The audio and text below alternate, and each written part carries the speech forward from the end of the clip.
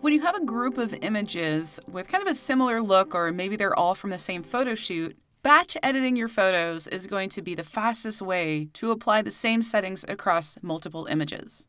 To begin, you'll want to make some edits to one of the photographs. With this image here, I made some basic edits to the tone and color. I'd like to apply these settings to all of the photos in the album. I'll press L to go back to that grid view, and I'm going to show you the two different ways that you can copy and paste or sync your photos. So the first thing you can do is copy and paste the settings. I have this photo selected, and I know that because there's a blue outline around the image. I can go up to Edit, Copy, and now those edits are copied. Alternately, you can right click over the photo, go to Adjustments, Copy Adjustments, and you can also use those keyboard shortcuts as well. Next, I need to highlight the photos that I'd like to apply these settings to. So I'll click on this image here, hold my Shift key, and then click on the image next to it. Then I'll right click over the photo and go to Adjustments, Paste Adjustments.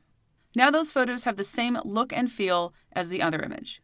Now let's go through the second method of syncing the image edits. I'll go ahead and activate that first image that I edited, hold my Shift key, and I'll select all the other images in this album. I want to make sure that the image with the edits I want to sync is highlighted in blue.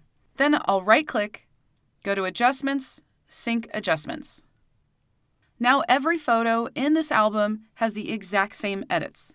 And if I need to, I can go in and make individual adjustments as needed. One of the great features of using Luminar AI when syncing image edits is that the AI tools will still apply intelligently to each photo that's synced. So, for example, when using Enhance AI, it's still going to kind of read the photo and apply those settings according to what's in the photo. It's not a flat adjustment like other tools can be.